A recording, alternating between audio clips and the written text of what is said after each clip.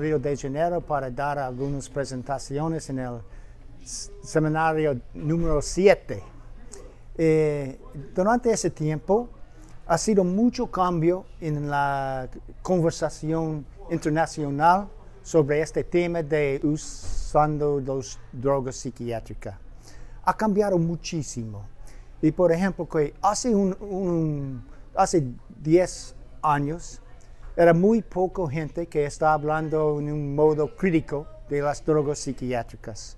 Pero hoy día hay mucha gente en, el mundo que está diciendo que este modo de cuidar con las cosas psiquiátricas no han salido bien. La, salud mental está peorando.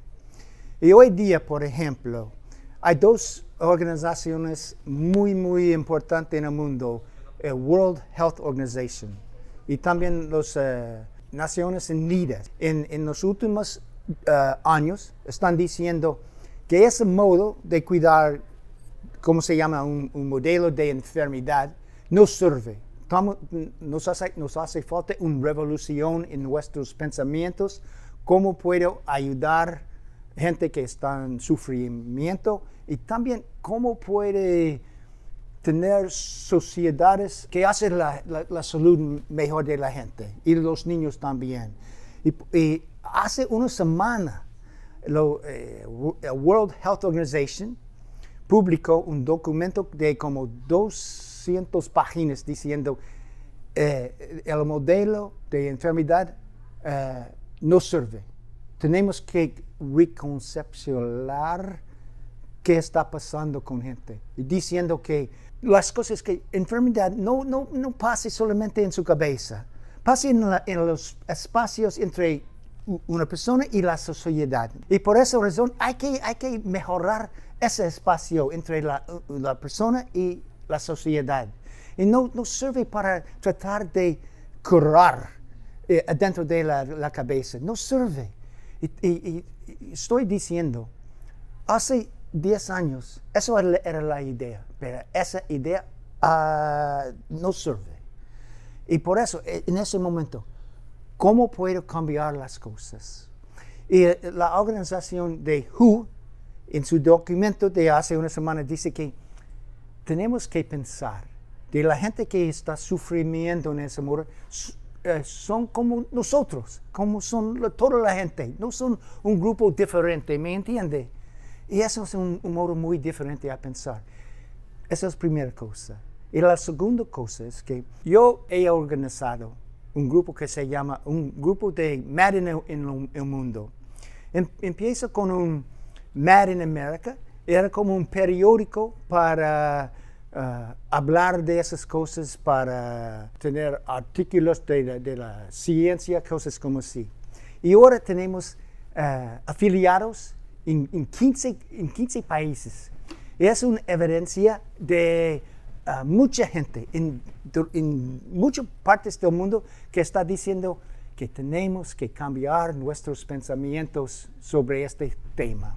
Y aquí, no, hay, no, no, se puede tener un congreso como este en los Estados Unidos. No, no va a pasar. Pero eh, aquí en Brasil, todos los años hay una discusión como este. Es muy, muy importante. Y quiero decir, estamos en un momento que casi en todos los países están tratando a cambiar sus pensamientos. Bueno, hay negocios que no quieren cambiar las cosas, pero la gente quiere cambiarlas.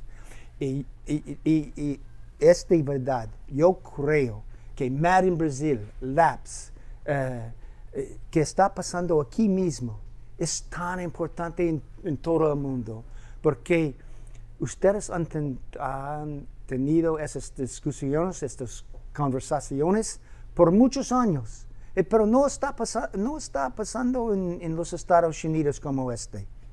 Eh, por fin, me pregunto, ¿cómo está hoy día con este tema? Ha cambiado mucho.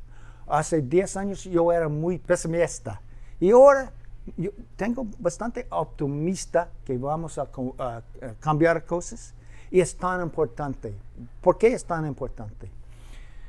porque es como una filosofía para ser humano, ¿qué es? ¿Qué es?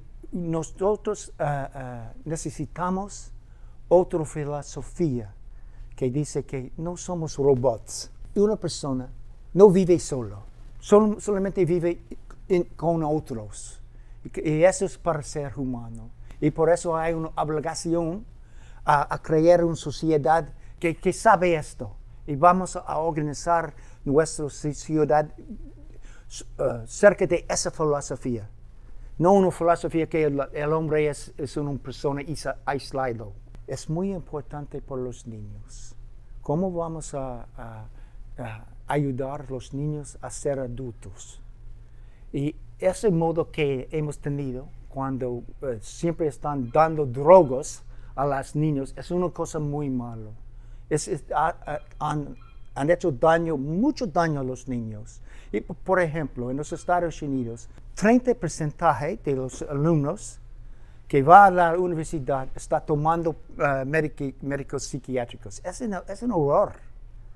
Y después de cuatro años en la universidad, más de 50%. Quiero decir, hoy día hay un modo de pensamiento que dice eh, nuestros jóvenes son enfermedades. Y ese es un horror. Pero tenemos que cambiar esto.